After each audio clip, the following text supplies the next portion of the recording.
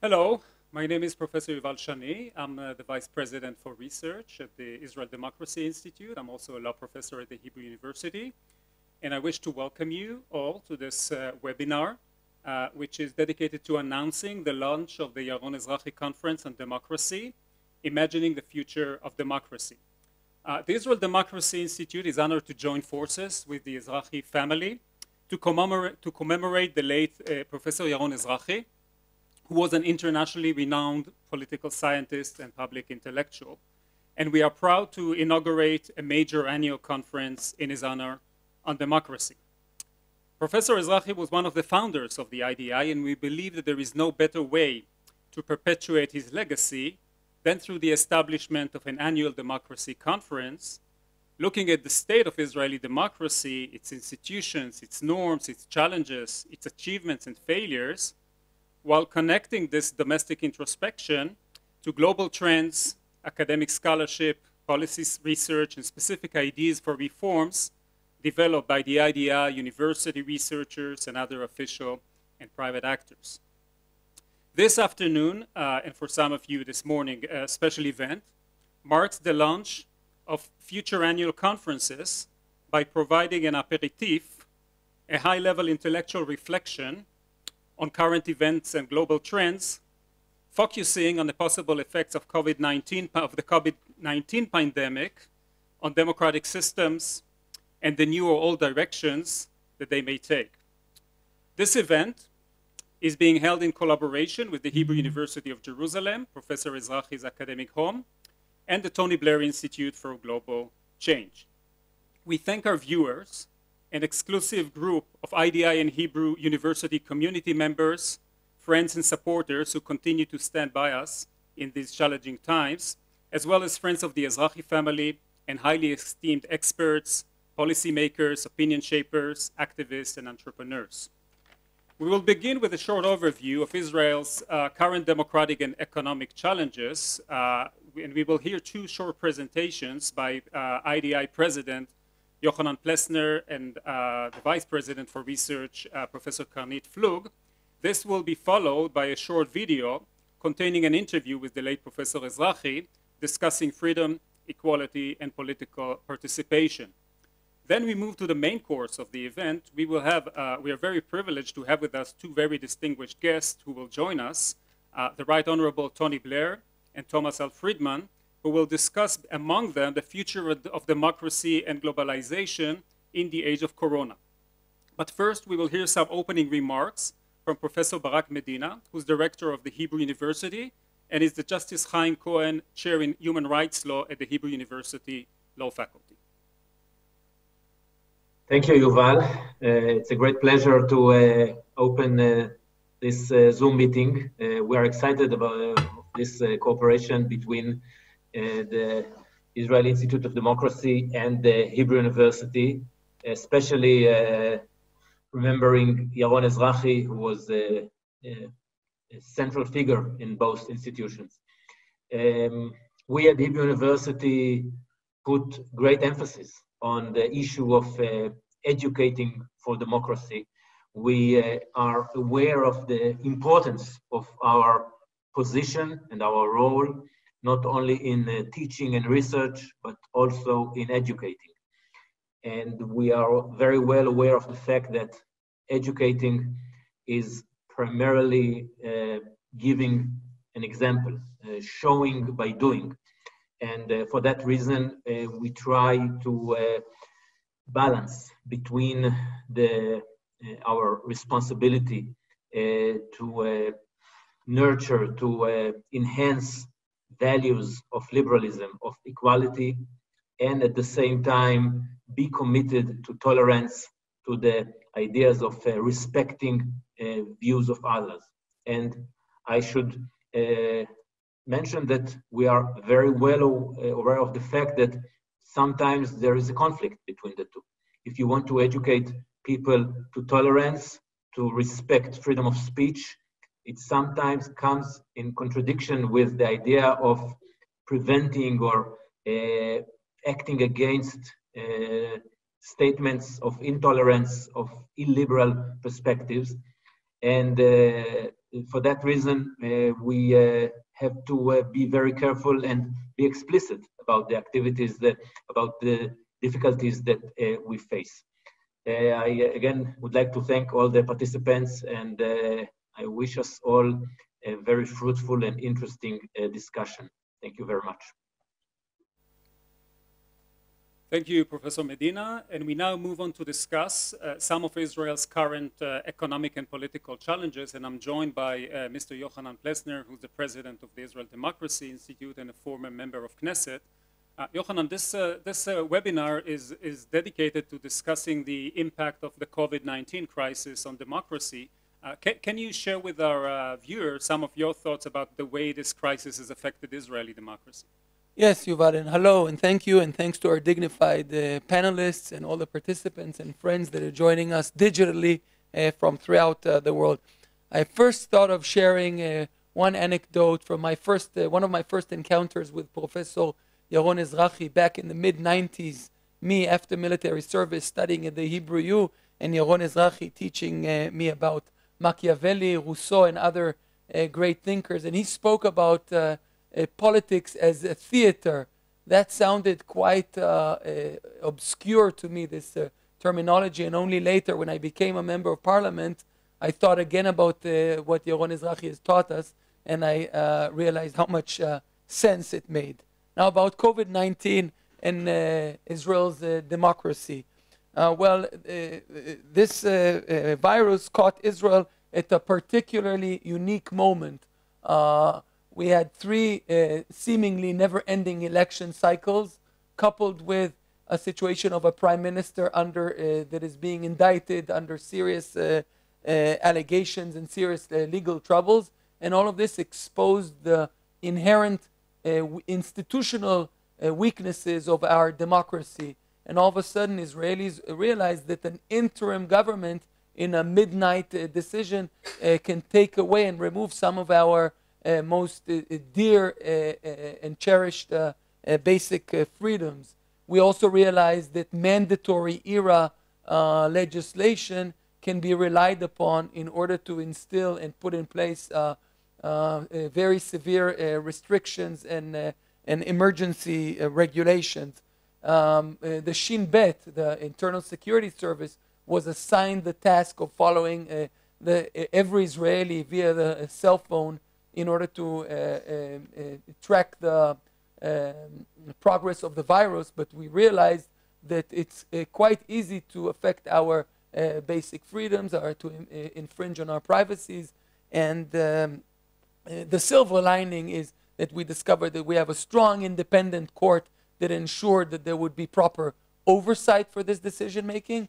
But the lessons learned, and, and we at IDI are trying to uh, uh, work based on that, is that we uh, uh, uh, need to ensure to strengthen some of the more precarious elements of our model of government. one thing is to strengthen the Knesset's oversight powers over the government.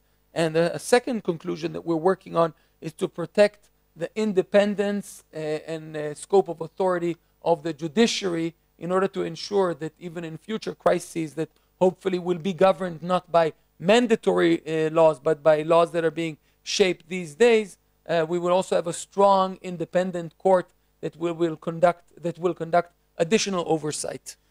Thank you. Uh, one of the themes that we will be discussing in the annual conferences, and I also imagine that Mr. Blair and Mr. Friedman will, will mention in their conversation, is the, the way in which democracy is adjusting to the new media landscape. Uh, especially the extensive use of social media uh, to convey messages and perhaps to uh, somewhat advocate for more populist positions and policies. How do you see this reflected in the Israeli experience? Well, populism is on the rise throughout the democratic world. It's also rising in Israel. The media landscape uh, uh, and the way it's shaped is, uh, has tremendous importance from a democratic standpoint.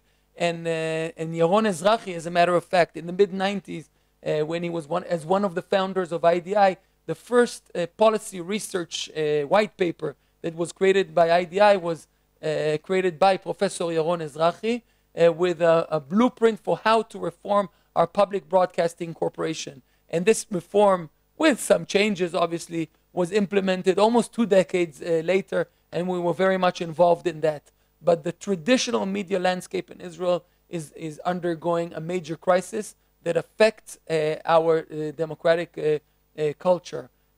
Print media, as in other parts in the world, print media in Israel is obviously in crisis, and what augments the, the crisis in the Israeli particular case is the fact that we have a, a daily newspaper that is distributed for free to every second household in the country.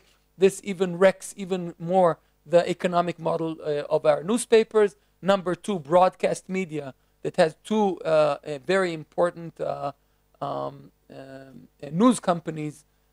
broadcast media is also governed by regulations that were shaped two decades ago before the era of Google and Facebook and the movement of all the uh, budgets uh, online, and therefore they, they, they uh, operate on an economic model that is not viable and it's increasingly difficult for them to uh, provide this uh, uh public uh, good of, uh, of independent, strong, high quality media. And one of those two broadcasting corporations right now is in a crisis of, uh, uh, of going under. So, uh, and, and this is coupled obviously with the, the rise of you know echo chambers, populism, and so on, as in other parts of the world, and and and it, it puts our democracy under additional stress, the economic aspects of which will be discussed by Professor Karnit Flug and yourself. Thank you very much, uh, Mr. Plesner. Thank you. Uh, and uh, yes, indeed, the, the idea is confronting uh, many of these uh, challenges, and a lot of the work that we do is to try to uh, come up with blueprints for how to work with in this new media environment, and also how to regulate the powers um, of government in times of crisis. Uh, I'm now joined by uh, Professor Karnit Flug, who's my colleague uh, at the IDI. She's also Vice President for Research. She's also known in Israel as the former governor of the, of the Central Bank of Israel. And uh, she also serves as a professor uh, at, the, at the Hebrew University of Jerusalem. Uh, and for you, Karnit, my question to you is whether you can share with us what is in your, in your mind the most significant economic challenges that the Israeli uh, economic system and in a way political system is currently confronting? Well, the economic crisis that we are actually going through has devastating social and economic consequences. And uh, as in other uh, parts of the world, uh, GDP is falling, unemployment is uh, skyrocketing. And this calls for a very large scale and effective and rapid government intervention and response. But the effectiveness of the government uh, policy package has been undermined by the political uh, ongoing uh, instability. Initially, we had an interim government that was limited in its ability to act. And now, although we do have an elected coalition government, it behaves as if another election is just around the corner. Uh, this leads to slow and suboptimal economic response. Uh, decisions are made more to be popular rather than to be the most effective policy response. And uh, a credible government that would not be suspected of making decisions to gain short-term popularity could reduce some of the uncertainty that the current circumstances produce. Uh, and such a reduction of uncertainty to individuals and to firms is crucial in order to reduce the enormous economic cost of the current crisis. Can you give a, a, couple of examples of what measures were actually taken and whether you consider them sound policy or perhaps driven by more uh, populist uh, impulse connecting to the conversation I had with, uh, with Yohanan? Yeah, so it, when we look at the policy package, the overall policy package is similar to the packages that were announced by other advanced economies in, in terms of its order of magnitude, uh, although maybe a little bit more modest than in other places. But some of the criteria for receiving government support uh, are less target, targeted and less focused than would be desired. And I have two examples. For example, um, th there was a transfer to all families based on the number of kids, up to four kids, that was uh, announced just before the holidays, and it was not target, not focused, and was quite wasteful actually in terms of uh, dealing with the crisis. And then there was another uh, policy measure of uh, basically a re-employment subsidy uh, with very lax conditions. And uh, again, it, these two measures may be popular because they benefited a very broad part of the population, but a more targeted support to those who were actually affected by the crisis would have been more efficient way of using government resources. And, and in two sentences, what do you think is the made the most important thing that the new government should be doing in the field of, uh, of the economy in, in, in response to the crisis? Well, the government should continue supporting businesses and households uh, and trying to reduce uncertainty by announcing a, a very clear uh, policy path and actually sticking to the policy path. Thank you very much, uh, Karnit. And uh, we now uh, move to uh, watch a short clip on, uh, on Professor Yaron Ezrahi. Before the clip, I will say a few words about uh, Yaron. Yaron was born in 1940 and passed away uh, last year in 2019. as I said, he was one of Israel's most prominent and original political thinkers. He was one of IDI's founders and served as a senior fellow at the IDI for over a decade. Um, and to this day, our mission, our values, our programs continue to be shaped by his legacy. Yaron studied at Harvard, and he returned to Harvard as a visiting professor and was a, a, professor of political science at the Hebrew University of Jerusalem for many years, raising a generation of talented uh, students, many of, of, whom left their mark on their fields and are also, uh, some of them are also working at the IDI. Uh, his research on the complex interaction between science, technology, culture, and communications on democratic societies generated lively intellectual and timely discourse. And we are honored to share with you a short video, a short interview with Yaron and providing his insights on freedom, democracy, and the interaction between them.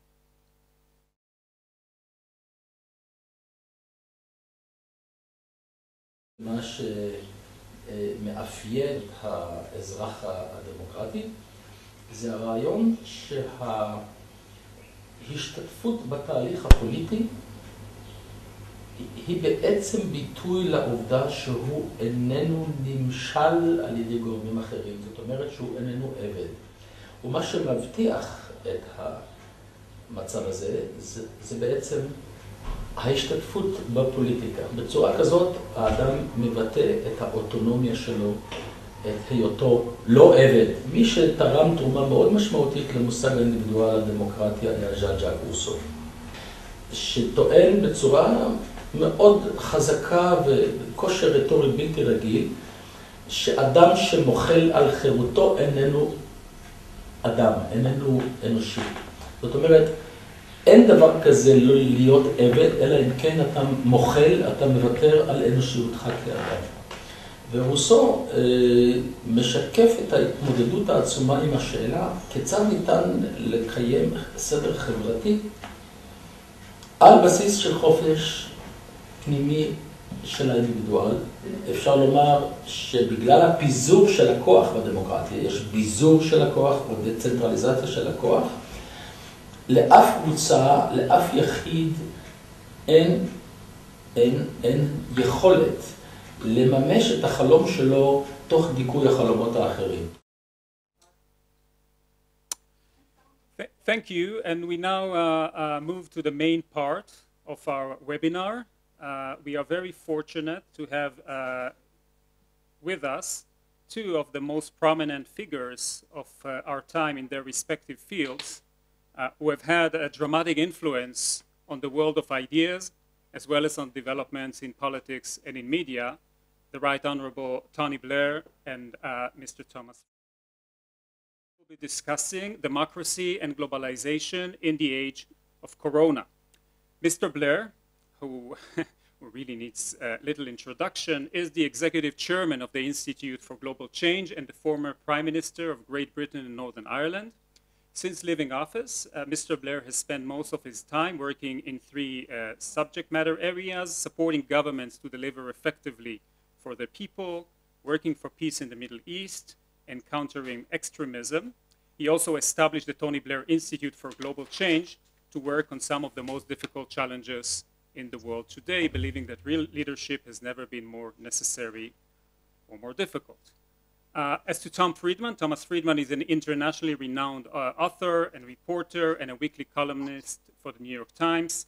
Uh, Mr. Friedman has won three Pulitzer Prizes uh, in 1983, 1988, and 2002. Uh, one of them uh, was won on the basis of his reporting from Israel. So without further ado, I will pass the floor to, uh, to, to, Tom Friedman to, uh, to, in, to, in, to uh, launch this uh, conversation. You have the floor, Tom. Well, thank you very much uh, to everyone listening at IDI behind this conference. Uh, it's a treat to be here to honor my friend Yaron Ezrahi. Yaron was a friend of 40 years. He appeared in every single book I wrote um, and was a, was a great thought partner for me. Um, it's also a real treat to be here with another of my really favorite thought partners, uh, former Prime Minister Tony Blair, um, uh, you know, who is, uh, I believe, just one of the most thoughtful thinkers on the world stage today. And um, one of my great pleasures in life is uh, doing jazz with Tony. So um, it's great to, great to be here with him. I want to begin by reading a quote uh, from Yaron, who's one of my favorites. He uh, wrote back in 2019 that, you know, so much depends on what attributes we assign to our fellow humans. If we tend to perceive them as if they shared with us moral capacity, we contribute to the formation of a liberal democratic society. If by contrast we regard our fellow men or women as selfish and morally blind, we're on our way to forming some kind of non-democratic society. And boy, that was, um, it, it's true in spades today. I think what um, I'd like to do, Tony, is um, I'm gonna begin with five minutes on kind of what the whole coronavirus uh, challenge looks like from America. And then I'd love you to take uh, five minutes on what it looks like from Europe and, and from your perspective. Um, and then we'll just, uh, we'll do some jazz from there. Um, you know, I, think that the biggest challenge that um, uh, analysts and um, decision makers have had in dealing with the COVID-19 crisis is I think that to understand it, you actually have to look at the world through natural systems. And this is actually um, uh, not uh, the norm. Um, you, you, uh, people tend to look at the world through economics or politics, uh, ideology, etc. But actually, to think properly about COVID-19, you have to get in the mindset of natural systems. And so I always begin my talks on this subject by uh, telling people my daughter Natalie is the executive producer of All Things Considered Weekend Edition on National Public Radio, so I never miss a show. And um, back on Easter Sunday, they did a roundup of pastors' sermons from around America um, on their, uh, their, their Easter sermons. And my favorite was uh, Pastor Michael Curry, actually, at the National Cathedral, who ended his uh, Easter sermon with a little song. He's got the whole world in his hands. He's got the whole wide world in his hands. He's got the whole world in his hands. He's got the whole world in his well, just substitute she for he, Mother Nature, and she got the whole world in her hands. This is the first time for our generation of, spe- of human species, unless you happen to be 103 and remember the 1918 pandemic. This is the first time for our generation of species, human species, that we've all been in the grip of Mother Nature all at the same time, everywhere on the planet and we're all facing one of Mother Nature's fastballs.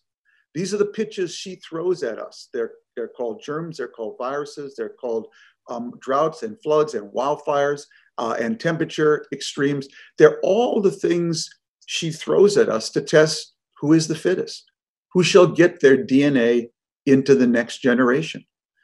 And it's vital to understand who Mother Nature rewards when she's throwing her fastballs. Because Mother Nature is just chemistry, biology, and physics. That's all she is. You can't talk her up, you can't talk her down, you can't say Mother Nature. We're having a bad recession in Israel. Would you mind taking a few months off? No, no, she's going to do whatever chemistry, biology, and physics dictate, and she always bats last, and she always bats a thousand. So do not mess with Mother Nature. Now, who does she reward when she's throwing her fastballs? She does not reward the strongest. No. She does not reward the smartest. No. She only rewards the most adaptive. That's who she rewards. And she only rewards people who adapt on the basis of four strategies. First of all, she asks, Are you humble? Do you respect my virus? Because if you don't respect my virus, it will hurt you or someone you love. Are you humble? The second thing she asks is, Are you coordinated? Because I evolved my virus over millennia to find any crack in your immune system, your personal immune system, and your communal immune system. Are you coordinated? Third, have you built your adaptation strategy on my building blocks? Chemistry, biology, and physics. Because if you built your adaptation strategy on ideology, politics, and an election schedule, I will hurt you or someone you love. And lastly, she asks, um, Do you understand that when you're up against me, it's not like fighting the Germans or Japanese in World War II, not like fighting the Soviets.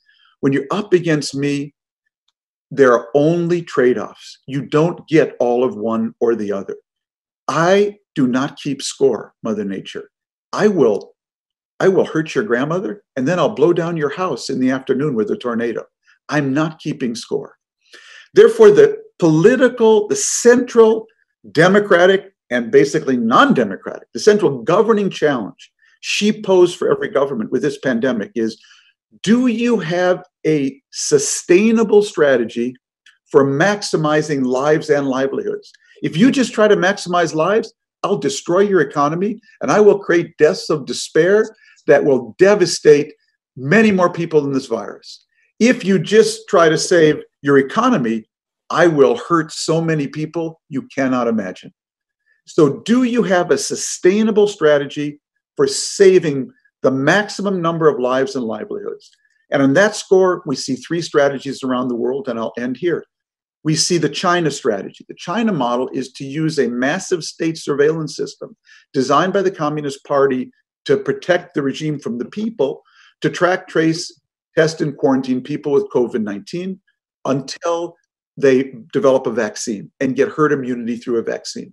That's one model. And then it has many democratic variants. The UK's, Germany, Sing, uh, Italy, uh, Italy, New Zealand, uh, Israel, etc.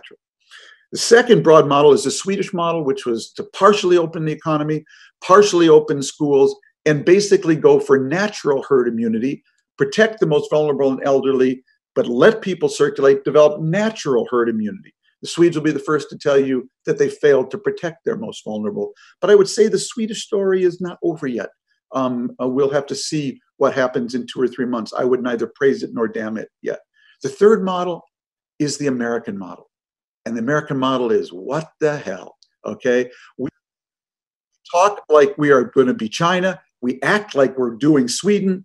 We prepare for neither, and we claim to be superior to both. Um, and what we have is a 50 state mess with the virus completely out of control.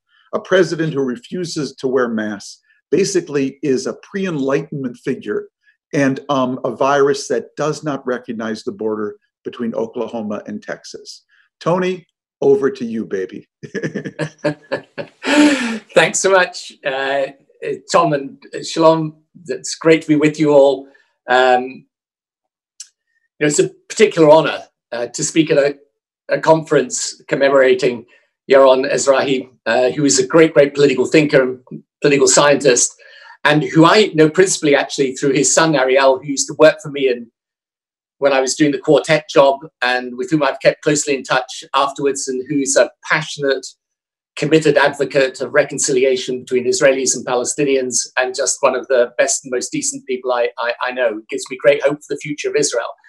And so it's an honor to be speaking in Yaron's memory uh, and also to be doing it with Tom. And, and you know, he's, uh, well, he's one of my favorite people because he's not just a great journalist, he's a great thinker. And as you've just heard in that brilliant introduction, an amazing speaker. What I didn't know, Tom, is you, you, you can sing. now, by the way, there's one rule in politics, right? Never sing in public. But you managed it. So I, get, I am not going to sing in public. I used to sing in a band, but those days are long over. Because it, it, it, can, it can only be bad, but actually, I thought you were quite in tune. So well done. Um, so, how does it look like this from our side of the water? Well, I, I agree really with everything that Tom was saying. Um, let me add these, these thoughts.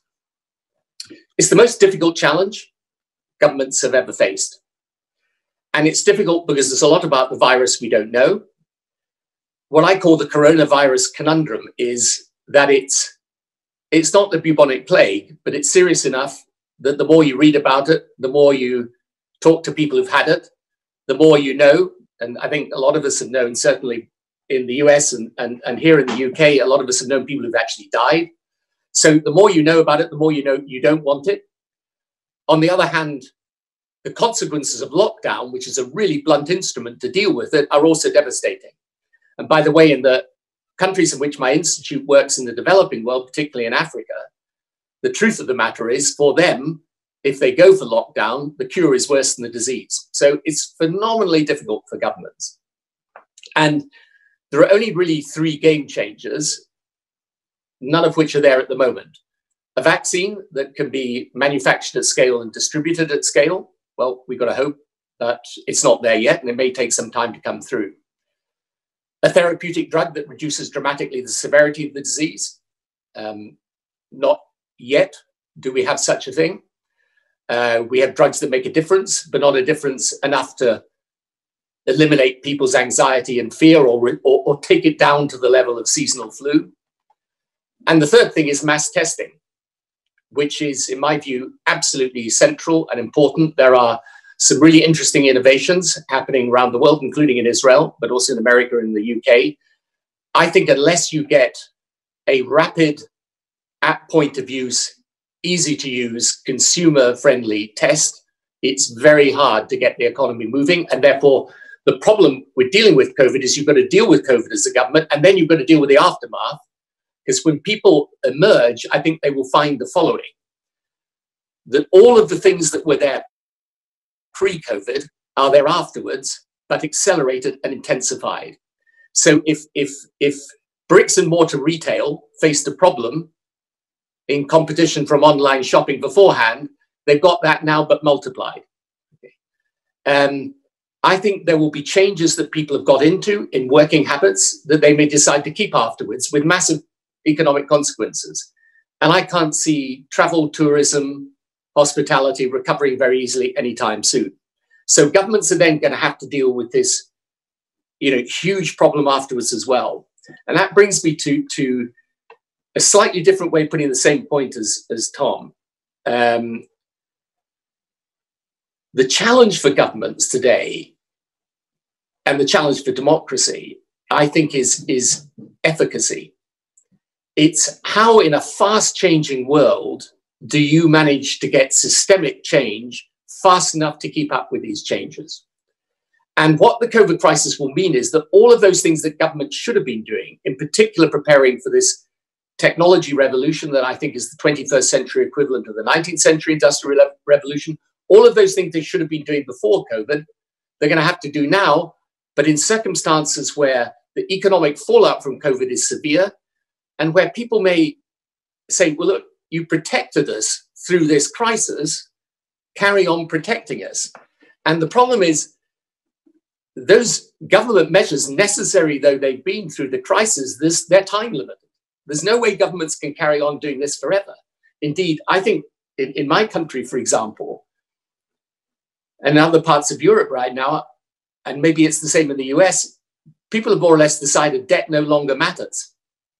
You can take on unlimited amount of debts, and it doesn't matter because interest rates are low, they're going to stay low, and therefore you can postpone the date of payment and reduce the rate of interest. Well, maybe that's true now, but what if it changes? So I think what this does, the real challenge afterwards is can governments, having coped with the crisis change, cope with the challenge of the aftermath, which is going to be severe and deep. And therefore, I end with this point. My question is Is democracy up to that challenge?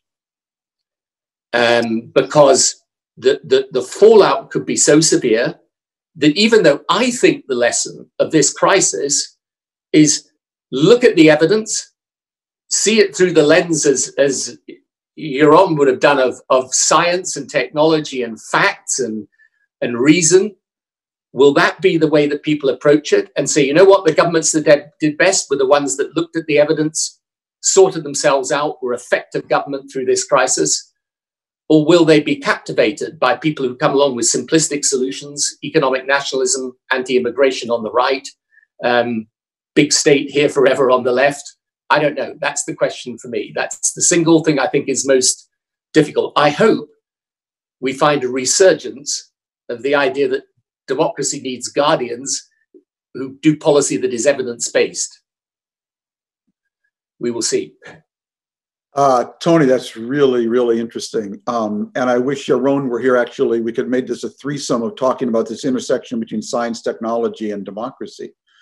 Let me pick up on that because I think your point, and I hadn't really thought about this, about just sort of the post pandemic political universe and how, if you think this was hard, folks, imagine the post-pandemic world where we're going to have massive creative destruction around these issues of work upon real estate transport all of these things and managing these things. So i've been working on a book uh, actually just in draft and, and thinking about this issue. Um, and i began by asking the question why have political parties everywhere been blowing up they really have. I mean, the Republican Party's blown up, the Tories blew up, Labor blew up, the Democrats will blow up as soon as they get back into power. You know, France is ruled by a, a leader who has no party and is in opposition with no leader. I have no idea who governs Italy. Um, the Israeli political parties have all blown up.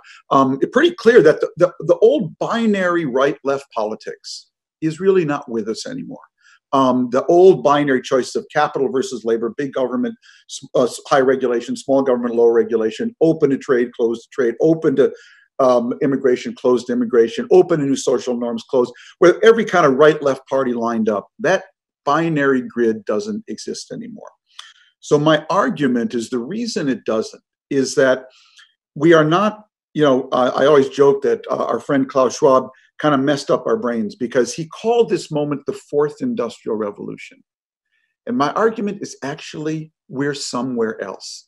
If you think of great, three great Promethean moments in the world the printing press, the industrial revolution, and then now, I think we're actually in a whole new Promethean moment. And it's really fundamentally reshaping politics. Why? Because it's made the world what I call fast, fused, and deep. So the pace of change now is accelerating on top of acceleration. Um, it's fused us together. We're not just interconnected and interdependent, we're now fused. And it's taken technology deep. I mean, you may have noticed suddenly we started calling everything deep deep fake, deep mind, deep research, deep medicine, you know, deep science. Why what no one declared you must use the word deep, but we all intuited that technology was going to a depth it had never been before that it was of a science fiction level, whether it's artificial general intelligence or any number of things. I'm a big believer in popular culture. And um, uh, speaking of songs, the song that won the Oscars um, in 2019 um, was called Shallow by Lady Gaga and uh, Bradley Cooper. But what is the main verse? I'm off the deep end, watch as I dive in. I'll never reach the ground, crash through the surface where they can't hurt us. We're far from the shallow now. Oh, baby, we are far from the shallow now. Okay. what happens to, I'll give you two examples that will totally reinforce your point, Tony, of, of why we are going what I call from, from binary politics to quantum politics. That what's happening in computing is paralleled by what's happening in politics.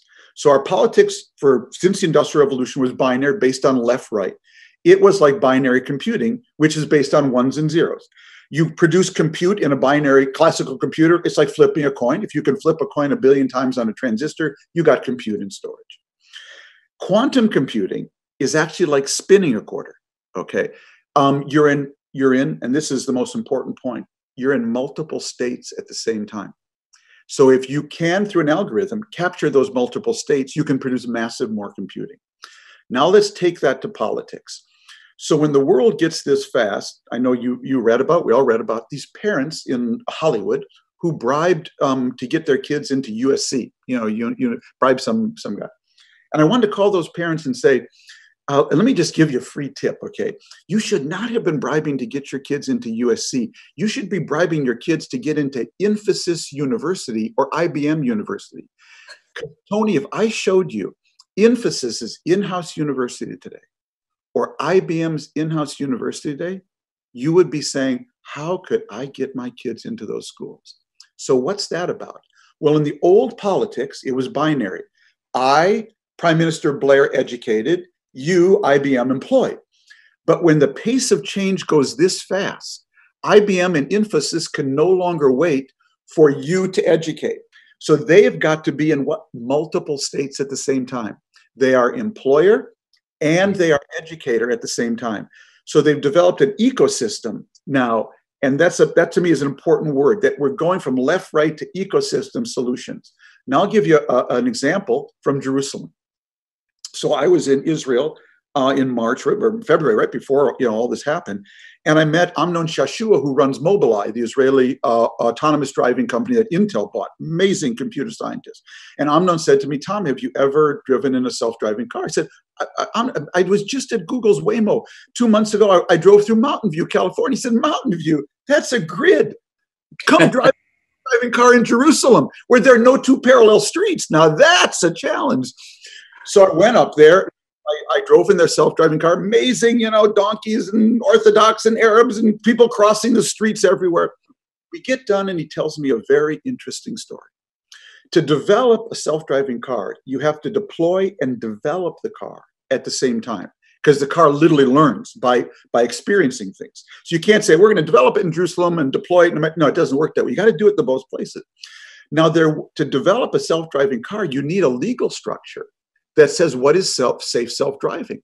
Otherwise, anything the car hit, you'd get sued.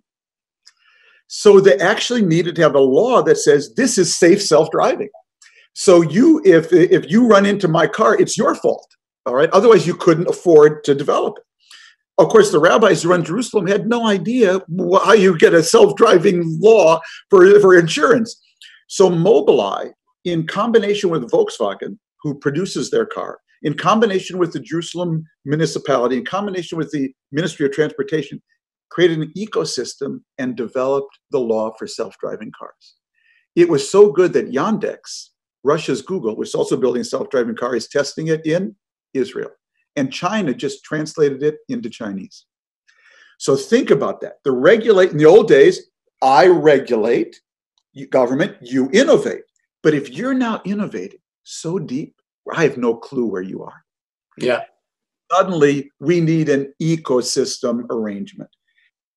Talk to me about that. You are clearly seeing that in your travel. And that's what I mean by going from binary politics to quantum politics and the challenge you pose. Uh, mm. Post COVID world, I think, is going to require that. And I don't know if democracy can handle it. Yeah. Yeah. No, it, it's. Uh so you see, the, the, the, the paradox in a way is that at the very moment when, because of this world of change, you need governments that are effective, adaptive, innovative, creative. And you need politicians, therefore, and political parties that are um, encapsulating that spirit. At that very moment, you've had a return to partisan ideology. Now, one thing my, my institute a few months back published a paper looking at the 19th century industrial revolution. How long did it take politics to catch up with the revolution? Who did that, Tony? Who, who did that? My institute. Oh, interesting. Fascinating. Yeah. And the, the really interesting thing was for decades after this revolution was happening and the whole world was changing, the old Whig party as it was and the old Tory party as it was kept on the same with the same debates. So they were talking about things to do with landowners and aristocracy and you know this and that. Meanwhile, in the real world, the revolution was happening. And it was only later that the policymakers and the change makers got into the same room. And the, the, the, the problem today is, and this is why I think the parties are imploding, is that the political parties aren't, they haven't adapted to this new world. And therefore, they've defaulted to what is most easy for them to do. So, actually, if you have a discussion with politicians about technology, and I, I do this a lot, okay, you start talking about technology and the changes, and they go straight to Facebook and regulation. And that's because that's what they know right? They spend their life regulation. We know, okay. Here's this big thing. It's a behemoth, and we're going to regulate it. Fine. There's lots of arguments about that, and they're perfectly valid arguments. But it doesn't, you say to them, tell me how you think we can harness this technology to bring about a more just and equitable healthcare system, education system, revolutionize transport, revolutionize law and order, actually revolutionize government and the way it works. Then they kind of go, well, I don't know. anyway, get back to regulation. So it's, I think this is this is the difficulty. Um, and so what's then happened is you, you that is this technology revolution has then met other big events, partly driven by globalization and, and, and, and this change in the way the world works. So 9 11, financial crisis, stagnant incomes for a significant section of the population. And so both main old fashioned political parties have been having a debate around very, very traditional things. Meanwhile, this change is going on in the world. And the result of that is you're, you're defaulting both to old fashioned policy and then to a kind of culture war that I think is the coming one of the things that's really going to wrench societies apart with completely different attitudes to social issues. And you can see this whether it's Black Lives Matters, trans rights, whatever it is. These things are beginning in society like mine to really pull people apart. Um, much of that impetus behind Brexit, for example, was really cultural, more, more, more than economic, I think, but certainly as much as economic. So here's, here's going to be the, the, the challenge that if you look at the, this economic fallout, who are the people that are going to survive the economic fallout from COVID 19? They're going to be the better educated, the ones using this technology that are perfectly comfortable with it, the ones in the in the areas that are going to be uh, attractive for the future. The people that are going to lose first are those in insecure jobs, the gig economy, the people who um, actually are already living at the breadline.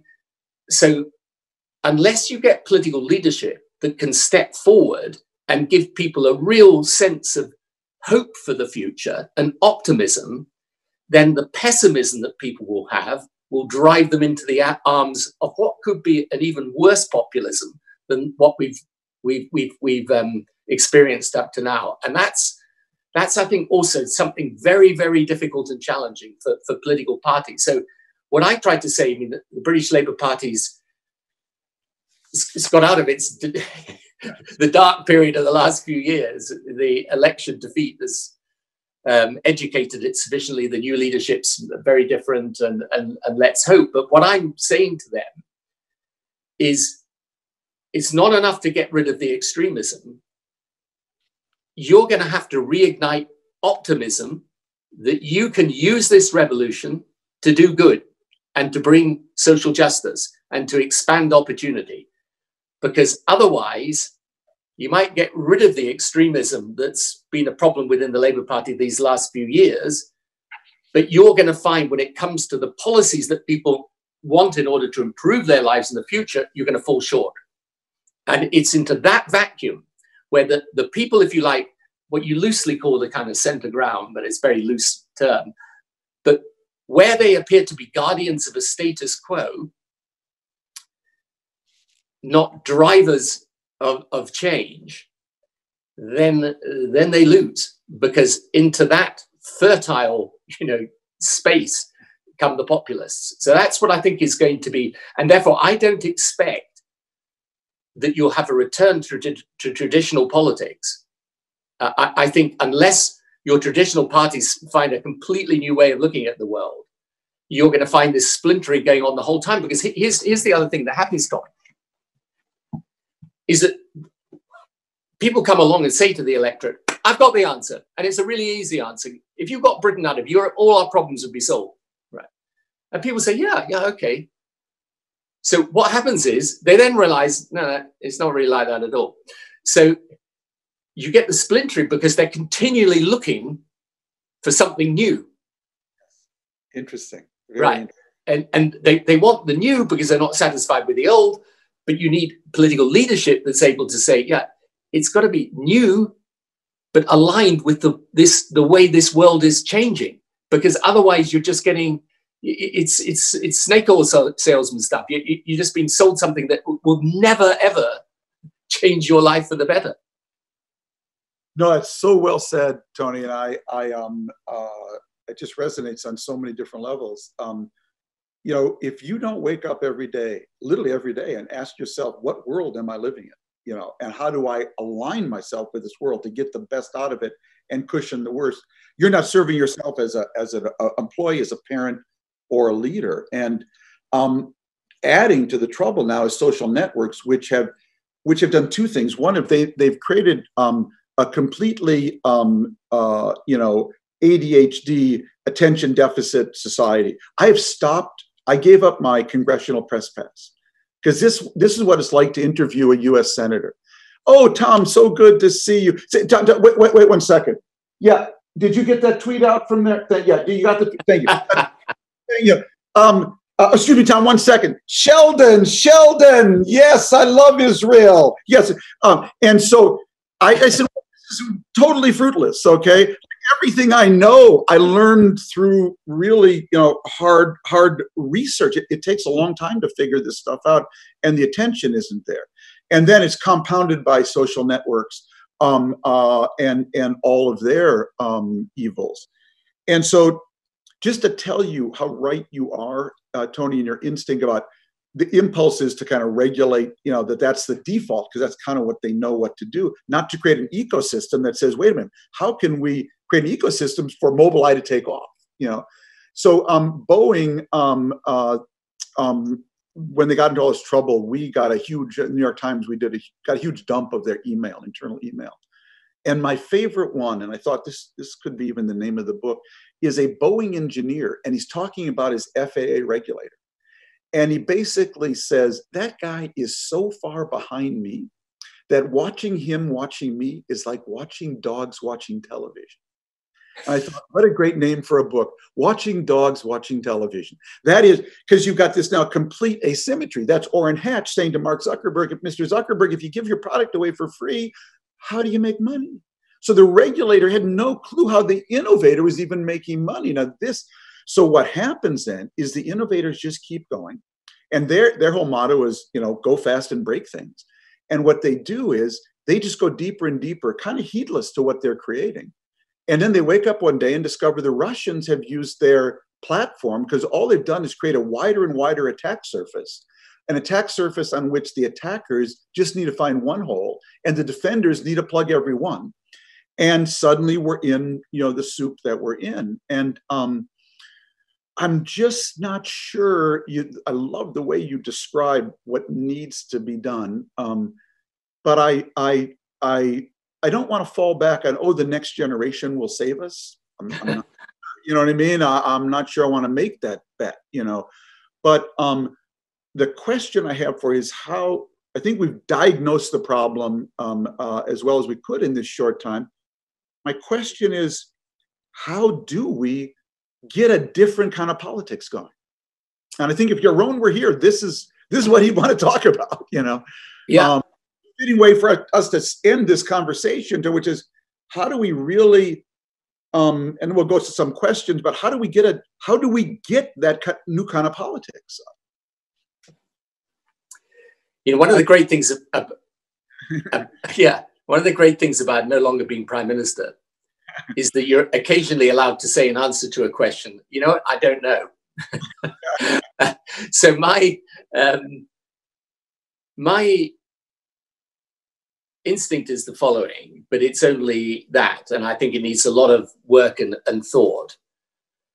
The trouble with the social media is that it, it, it does create these, you know, self-reinforcing bubbles of opinion. There's, there's no doubt about that. And, and by the way, what it does with conventional media is that I think conventional media has worked out that to survive, the best way to survive is to take a constituency of people and keep them in a permanent state of anger and grievance, right? And if you do that, and you're writing things every day that make them go, yeah, oh my God, that guy's bad, then, you know, you're basically still racking up the sales. Whereas if you actually try and say, you know, on the one hand or on the one, we don't want to hear that.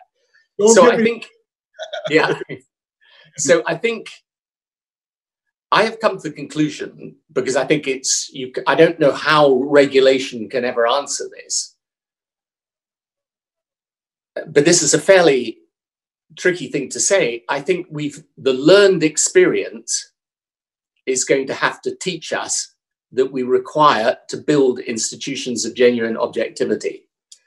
And because the, the alternative is not good for democracy at all. And if you end up with dividing societies, and I think yours is divided, but mine divided too, into two tribes of people who don't talk to each other, listen to each other, or much like each other, you know, what, when is the point when one of those tribes says, you know what, I, I dislike them so intensely, I don't think they're legitimate. That's that's the threat. And you know, I read a fascinating book um, uh, over the uh, coronavirus break, as it were. It's called 1931, and it's written by a Swiss academic, and it's actually just about the debt crisis of Germany in 1931. And it's actually very easy to read. And the fascinating thing about the book well, two things that come out of it. One, that the moderate politicians actually did have a plan in Germany. They weren't stupid, they did have a plan. But the second thing is that it was the absolutely intense polarization, not just with the Nazis, but on the other side with the communists, who spent their time essentially wanting to get into a fight with the Nazis, which they were never and did not, of course, win that really killed that center. So it, it's, you know, it's the thing that I think is the only thing that will save us is the learned experience of people that going down this path of intense partisanship where you're not prepared to listen to other people, you're going to have to mobilize and push back against it. Because if you don't, you're going to lose the very reason that you like living in societies that you live in. And I think that's true of the USA. I think it's true of the UK. I actually think it's true of Israel as well. You know, uh, just to put a punctuation mark on this, and then we'll go for uh, whatever time we have for questions. I'm actually uh, uh doing my column tomorrow. Um, it's on what should Joe Biden's uh, bumper sticker be. You know, um, uh, and um, I, I, I, took it from, I got an email from a teacher and friend of mine, Hal Harvey, who's a great environmentalist based in San Francisco a week ago. And he signed it I'm not even sure why, but he signed his email respect science, respect nature, respect each other. And I thought, you know, if Joe Biden's looking for a bumper sticker, that's about as good as I, because uh, we've actually gotten away from respecting science, respecting nature, and respecting each other. It's the only way to make them. So, um, uh, yeah, gentlemen, uh, we have time for, I guess, a few questions. I know Tony's got a hard stop and I don't want to um, impose on him, but if you've got questions from the audience, uh, we'll defer to you. Yes, thank you. Uh, we have a few questions. In the interest of time, maybe I'll just pose two questions and feel free to answer uh, briefly uh, to them. Uh, thank you very much, gentlemen. This was really a fascinating talk. So, two questions which have been sent by uh, members of the audience. One, uh, I think, is, is particularly for Mr. Blair, whether there is a future for radical central, centrism in an era where a lot of parties are moving to the extremes. So is there a, likely comeback for uh, radical centrism? And I think for both of you, maybe uh, even more so for Mr. Friedman, the question is about uh, what do you see the, the future of democracy uh, if and when Trump wins another term in office? How will this affect democracy not only in the United States, but also around the world? So, so Tony, why don't you take that and I'll and I'll uh, uh, follow you. Yeah, and I'm glad that you got that question and I got my question. so, look, I I continue to believe and and spend a lot of the my time working on the fact that it is possible to have a, a you know what you can roughly call a radical centrism, by which I mean a politics that says yes, we're living through an era of radical change. We need to make radical change to adapt to it, but it should be done on the basis of bringing people together, on the basis of reason and evidence, and policymaking that protects our basic democratic wheel. I think there, there is a, a, a future for that. I, I hope there is. I think there needs to be because the alternative is, is very grim. But to do that, we need politicians to engage with this real world change. And just to say again, as the other conversation I have with political leaders today is, um, you know, I'll go that a lot of progressive politicians on the progressive side of politics, the liberal side of politics, say to me, well, you know, what should the you know, what should we be doing? How do we win? Because all over Europe, by the way, the right wing is basically in power and the, the, the center left has been losing. And I then talk to them about this technology revolution. And, you know, the conversation's always going this way. I said, there's all this technology happening. It's going to change the world. We're going to, da, da, da, we're going to look how we deal with it. And then they say, yeah, no, it's absolutely right. It's, it's an amazing thing. Now let's talk about politics.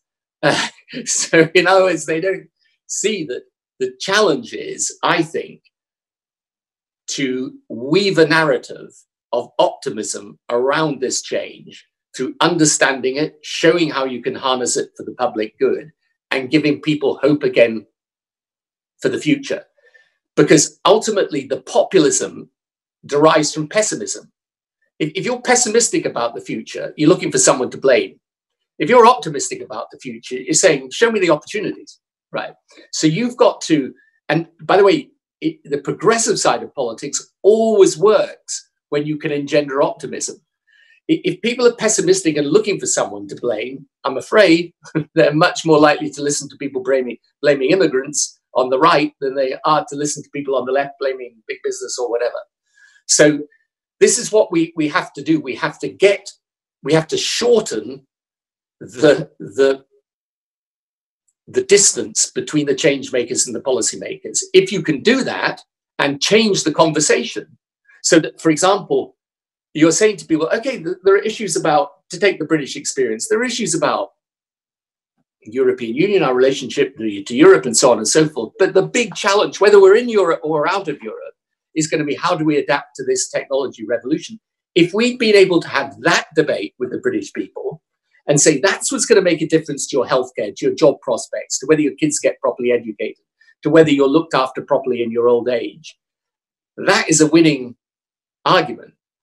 Whereas, you know, if if you end up in a situation where you're just in a in a sort of stale old political battle that frankly, in our case, for the last few elections, we could have been in the 1980s having this fight, then I think it's very difficult. So so my answer to the question is yes, it is possible, but only if we rethink the policy agenda at the heart of what I would call center progressive politics and also then change the party organization because I think traditional political parties probably have had their day as well. You're going to have to organize things differently, understand people want to engage with politics quite differently. You're going to have to make sure that democracy is not just about voting every few years, or in Israel's case, every few months. Um, it's about it's about real deep civic engagement. All of that, I think, is what needs to happen. And you know, despite everything, and but I, I, I always fear this is just because of my nature rather than because it is based on any objective evidence. I still remain optimistic that we can get back to something decent and progressive and forward looking. Um, that was great, Tony. I, um, I've been I'm sitting here taking notes. Um, I would just add two things from an American point of view that I think are are necessary. Um, uh, I believe that what is ailing America today um, is our conservative party, our, our progressive liberal party has its problems, but our conservative party is off the rails. There's no parallel to this in the world today. There's no one in the world going around saying, don't wear a mask. Masks are for girls. Okay. That is that is dark ages stuff. That is pre-enlightenment. Um, and I believe for America to go forward, this version of the Republican Party needs to be crushed and destroyed in this election. And that is what I pray for. Um, because we will not be a healthy democracy if we do not have a principled conservative party that can actually a- approach all of these problems from a, from more, more market based, what, whatever, from a principled conservative position. And right now, we, we, we, uh, we do not have that. This, the, where, where I think um, progressives, liberals have to go is that um, is, is really exactly what, what Tony said, which is you've got to embrace the change and find a way uh, for it to work for people um, and to anchor them in the world.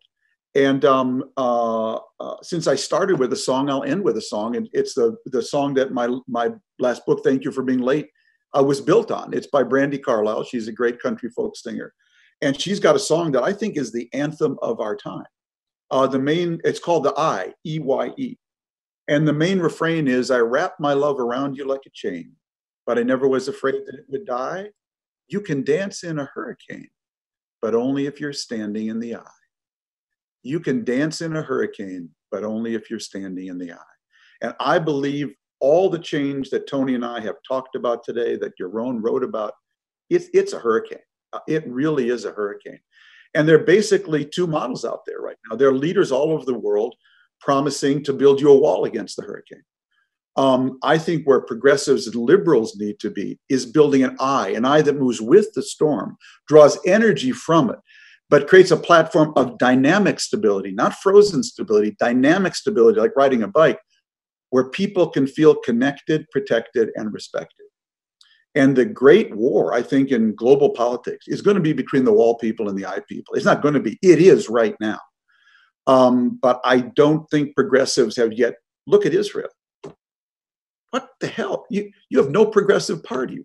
What in the world happened? You know, you have no party basically making this progressive argument. You're, you're on the defensive all the time. That's for another seminar. But I think the great struggle is going to be between the wall people um, and, and the eye people. This has been such a treat. I'd have paid money for this conversation. I don't know if anybody did. Actually, I did pay money for this.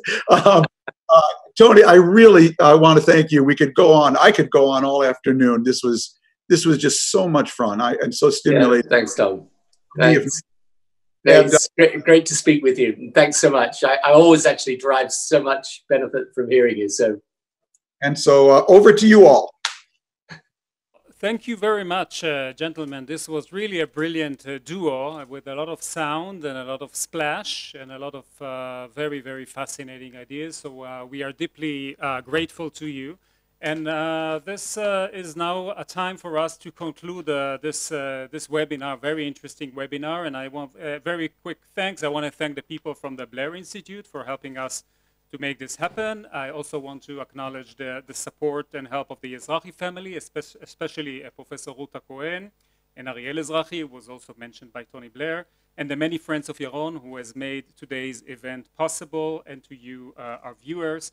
We plan on to continue to honor Yaron's legacy through our work and the annual conference I announced before, the first of which will take place uh, this coming October. And we hope that many of you as possible who have joined us today will continue uh, the journey with us together. Thank you all and have a good evening.